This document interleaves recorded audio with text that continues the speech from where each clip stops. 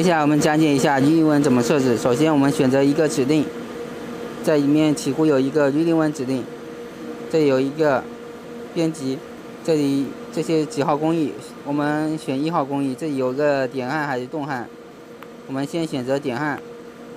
然后这个是焊接的时间，这个是冷却的时间，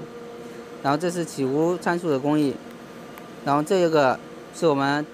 嗯，它因为是点焊嘛，它焊的时候它会有个零点四秒焊接时间，然后再冷却个零点三秒之后再移动个多少毫米，这写设置五毫米就移动五毫米到下个位置再焊点焊，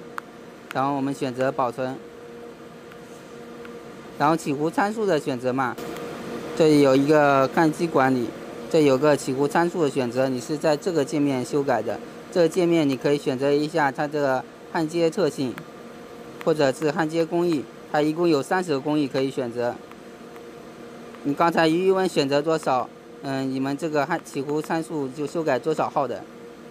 把这一电压电流改一下就行了。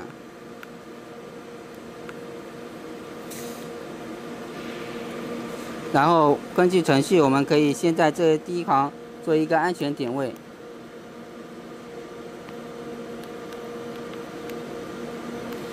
在上方做一个点位，我们做一个运动指令，在这个鱼鳞纹的上面做一个，然后我们再到一个起弧点，再做一个运动指令，在第一行跟第二行之间做一个，接下来我们再到收弧点做一个运动指令，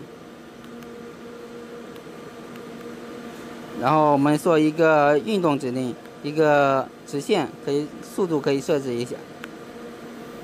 设置完成之后，我们再选择一个鱼鳞纹的结束。结束完成之后，我们再把机器人抬上来，做一个安全点。到达点位之后，我们设一个关节点。关节点设置完成之后，我们程序可以试运行一下。